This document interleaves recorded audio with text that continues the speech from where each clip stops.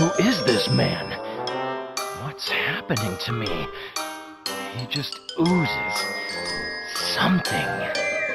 My attraction to him is overwhelming my senses and good judgment. I think I'm in love.